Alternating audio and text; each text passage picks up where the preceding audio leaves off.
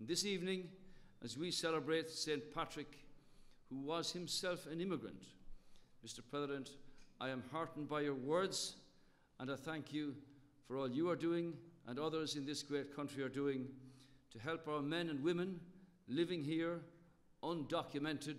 We know America will sort this out.